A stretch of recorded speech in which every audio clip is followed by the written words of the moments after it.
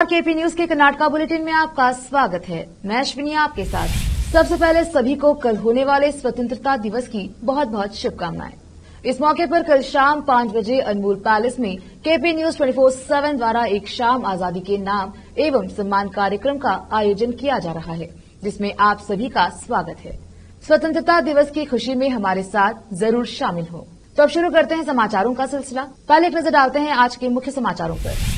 बीदर शहर में स्वतंत्रता दिवस के मौके पर हर ओर तिरंगे नज़र आ रहे हैं। बसव कल्याण के एएसआई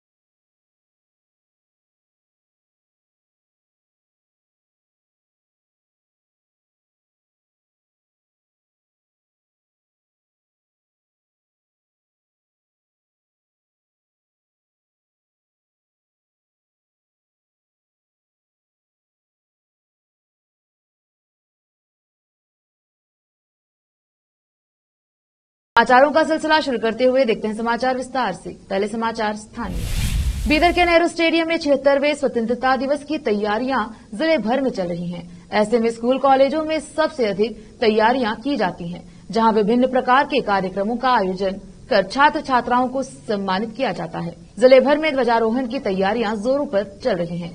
स्वतंत्रता दिवस के अवसर पर चारों ओर देश का ध्वज नज़र आता है। चाहे वह वाहनों पर हो, वह कार्यालय हो, दुकानों सहित अन्य जगह पर भी ध्वज ही ध्वज नज़र आते हैं। इस मौके पर कुछ गरीब लोगों का एक बड़ा समूह विभिन्न शहरों और ग्रामों में सड़क और सिग्नल पर ध्वज बेचते हैं। ऐसा ही बीदर शहर में पिछले दो दिनों से चल रहा है।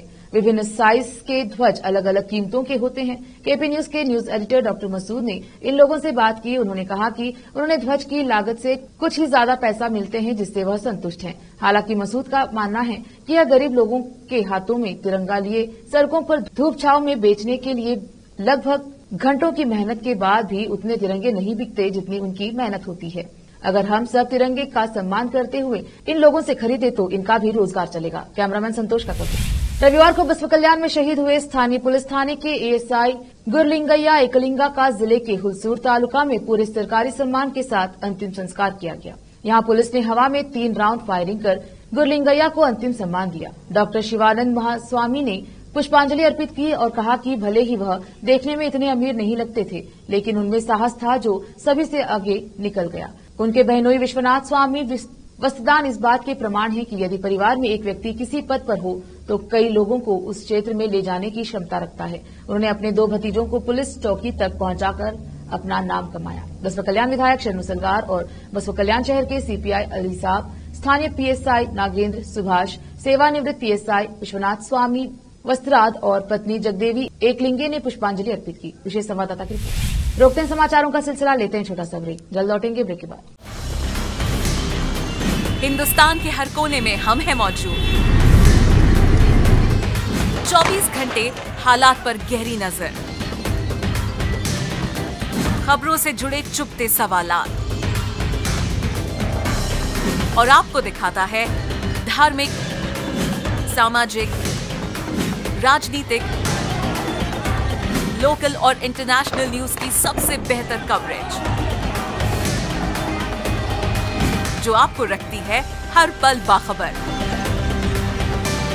देश और दुनिया भर की खबर के लिए देखते रहें।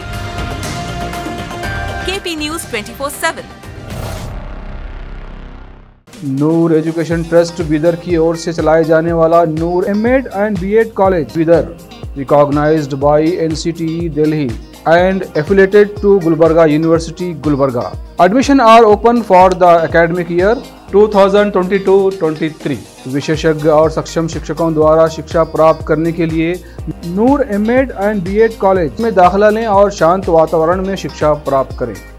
बीदर शहर में बेहतर शिक्षा का एकमात्र केंद्र Noor M Ed B college, Shahpur gate, Bidar.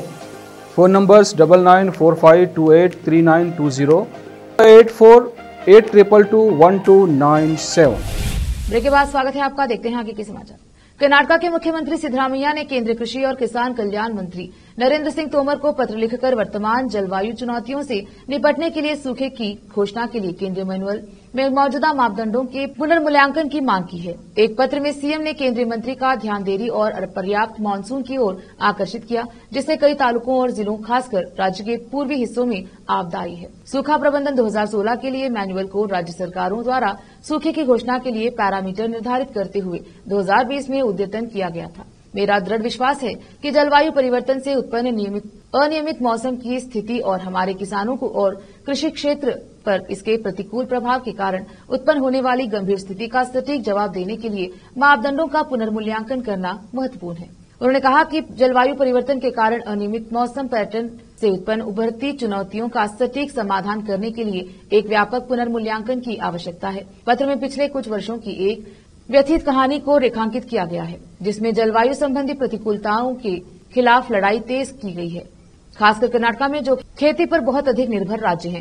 उन्होंने बताया कि सूखे की तीव्रता ने जीवन के विभिन्न पहलुओं पर सबसे अधिक ग्रामीण कृषि समुदायों पर एक अमिट छाप छोड़ी है। उन्होंने कहा कि फ़सलों की विफलता, पानी की कमी और सामाजिक आर्थिक कठिनाई या नई वास्तविकता का पर्याय बन गई है, जिससे किसान असुरक्षित और अनिश्चितता की स्थिति में है। उन्होंने मौसम संबंधी आंकड़ों के माध्यम से स्थिति की गंभीरता को रेखांकित किया। जिसमें कर्नाटका में वर्तमान दक्षिण पश्चिम मानसून के मौसम के दौरान अपेक्षित और वास्तविक वर्षा के बीच स्पष्ट अंतर को दर्शाया गया है। कर्नाटका पुलिस ने इस साल की शुरुआत में कर्नाटका प्रदेश कांग्रेस कमेटी केपीसीसी की वेबसाइट को हैक करने और उसे बदलने के आरोपों में हसन स्थित एक कंपनी से जुड़े तीन लोगों को 10 अगस्त को गिरफ़्तार किया था। आरोपियों की पहचान धर्मेश जैन, सिद्धार्थ और वेंकटेश के रूप में हुई है। भारतीय जनता पार्टी भाजपा के साथ काम करने वाली एक राजनीतिक रणनीति फर्म वाराहे एनालिस्टिक से जुड़ा मुख्य आरोपी अभी भी फरार है। यह घटना इस साल फरवरी की है जब केपीसीसी ने राज्य विधानसभा चुनाव से पहले अपनी वेबसाइट पर साइबर हमलों की सूचना दी है। हैकर्स ने केवल आधिकारिक वेबसाइट को हटाने में सफल रहे, बल्कि इसे एक भ्रामक क्लोन से बदल दिया, जिसने कांग्रेस पार्टी पर तीखे हमले किए।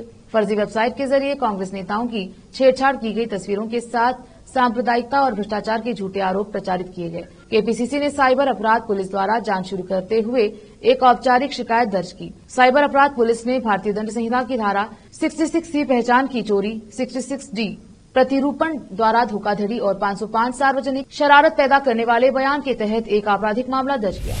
एक दशक पहले धर्मस्थल के पास उजीरे कॉलेज की छात्रा सौजन्या के साथ बलात्कार और हत्या के मामले में लंबी जाँच के बाद अदालत ने गिरफ़्तार आरोपियों को बरी कर दिया, जिसके बाद युवती के लिए न्याय की गुहार लगाई गई। पीड़ित के परिवार ने सीएम को एक याचिका सौंपी और मांग की कि जिसने भी उसकी हत्या की है, उसे दंडित किया जाना चाहिए। सूलिया सहित दक्षिण कन्नड़ ज़िले के कुछ हिस्सों में विरोध प्रदर्शन और याचिकाएँ आयोजित की गई इस मामले से संबंधित हालाँकि संघर्ष के तरीके और रूप अलग है। शिष्टाचार के पक्ष में आवाज़ें फिर से सुनाई दे रही हैं। कांग्रेस पार्टी ने पहले ही साफ़ संदेश दे दिया है कि हम सौजन्या के पक्ष में हैं तो अब बीजेपी की बारी है। सांसद और बीजेपी के प्रदेश अध्यक्ष नलिन कुमार कटिल ने मैंगलोर में प्रेस कॉन्फ्रेंस की और कहा कि वह सौजन्या को न्याय दिलाने के लिए विरोध प्रदर्शन करेंगे। मैंगलोर में बोलते हुए नलिन कुमार कटिल ने कहा कि सैंतीस तरीकों को उड़पी ज़िले के भाजपा विधायकों के साथ बेलथांगड़ी में विरोध प्रदर्शन किया जाएगा। छात्र से रेप और हत्या के मामले में पुलिस जाँच के बाद सीआईडी और सीबीआई जाँच में संघर्ष हुआ। आखिरकार सीबीआई ने कहा कि गिरफ़्तार किया गया व्यक्ति आरोपी नहीं है। बीजेपी ने तब भी इस मुद्दे पर संघर्ष किया था। उन्होंने कहा कि अब बीजेपी फिर से पूरे मामले की दोबारा जाँच की मांग करेगी। वक्त एक और छोटे से ब्रेक का। जल्द लौटेंगे ब्रेक के बाद। हिंदुस्तान के हर कोने में हम हैं मौजूद। 24 घंटे हालात पर गहरी नज़र। खबरों से जुड़े चुपते सवाल और आपको दिखाता है धार्मिक, सामाजिक, राजनीतिक लोकल और इंटरनेशनल न्यूज़ की सबसे बेहतर कवरेज जो आपको रखती है हर पल बाखबर। देश और दुनिया भर की खबर के लिए देखते रहें। KP news 24/7 Noor education trust Bidar की ओर से चलाए जाने वाला Noor M Ed and B Ed college Bidar recognised by N C T Delhi and affiliated to Gulbarga University, Gulbarga. Admission are open for the academic year 2022-23 विशेषज्ञ और सक्षम शिक्षकों द्वारा शिक्षा प्राप्त करने के लिए Noor M Ed and B Ed college में दाखिला लें और शांत वातावरण में शिक्षा प्राप्त करें बीदर शहर में बेहतर शिक्षा का एकमात्र केंद्र Noor M Ed and B Ed college, Shahpur gate Bidar phone numbers double nine four five two eight three nine two zero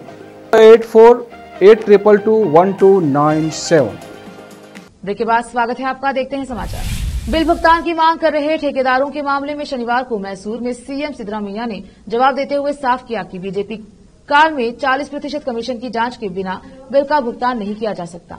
शनिवार को मैसूर में बोलते हुए सीएम ने कहा कि 40 फ़ीसदी कमीशन के मुद्दे पर लोगों ने बीजेपी को खारिज कर दिया है।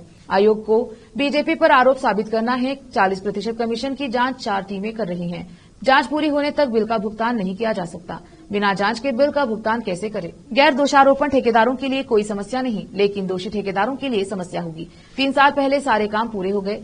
उन्होंने ठेकेदार से पूछा कि अब वह बिल के लिए इतनी जल्दी कैसे कर सकते हैं? प्रख्यात भारतीय वैज्ञानिक और पद्मश्री पुरस्कार से सम्मानित एमआरएस राव के नाम से मशहूर मंचनहल्ली रंगा स्वामी सत्यानारायण राव का रविवार शाम सात बजे बेंगलुरु के टाटानगर स्थित उनके आवास पर दिल का दौरा पड़ने से निधन हो गया। वह अपने अनुशासन, वैज्ञानिक ज्ञान, धैर्य, मातृभाषा, स्वभाव और पीएचडी छात्रों के मार्गदर्शन के लिए जाने जाते थे। Jawaharlal Nehru centre for advance scientific research के पूर्व अध्यक्ष के परिवार में उनकी पत्नी पद्मा एस राव और दो बेटे शरद और रोहन हैं।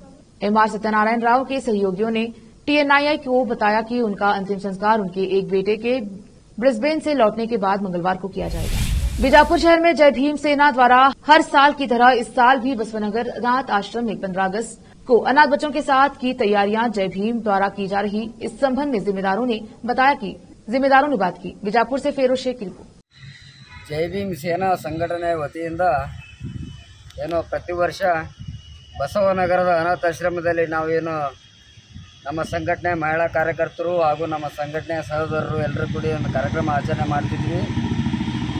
ಅದು ಈ ವರ್ಷ ಕೂಡ ಎಲ್ಲ ಸಂಘಟನೆ ಕಾರ್ಯಕರ್ತರು ಕೂಡಿಕೊಂಡು, ಮಹಿಳಾ ಕಾರ್ಯಕರ್ತರು ಕೂಡಿಕೊಂಡು ಏನು ಕಾರ್ಯಕ್ರಮ ನಾವು ಆಚರಣೆ ಮಾಡ್ತಿದ್ವಿ.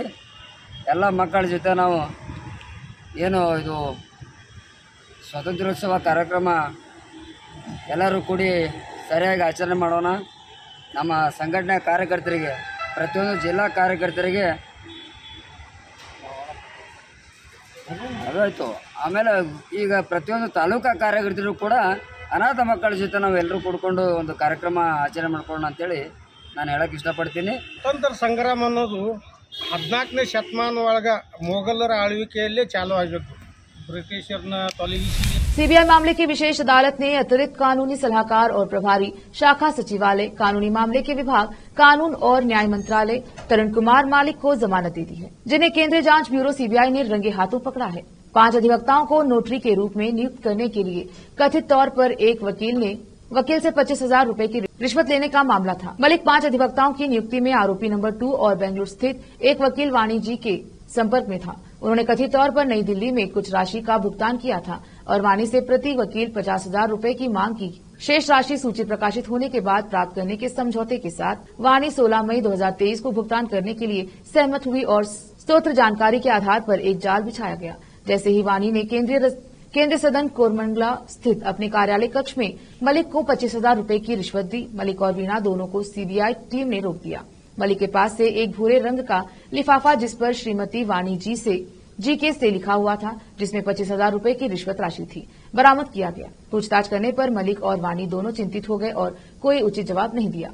मलिक ने स्वीकार किया कि उन्होंने कानून और न्याय मंत्रालय में नोटरी के रूप में कुछ अधिवक्ताओं के चयन के लिए उनसे राशि प्राप्त की है। रिश्वत की रकम के अलावा व्यक्तिगत तलाशी के दौरान मलिक के पास चार दशमलव दो तीन लाख रुपए की बेहिसाब नकदी मिली है। गाजियाबाद में उनके आवासीय परिसर में चौंतीस लाख रुपए की बेहिसाब नकदी भी जब्त की गई है। इसके अलावा उनके और उनकी पत्नी के नाम पर कई संपत्तियों के दस्तावेज़ भी जब्त किए गए थे। फिर से एक नज़र आज के मुख्य समाचारों पर। बीदर शहर में स्वतंत्रता दिवस के मौके पर हर ओर तिरंगे नज़र आ रहे हैं। बस कल्याण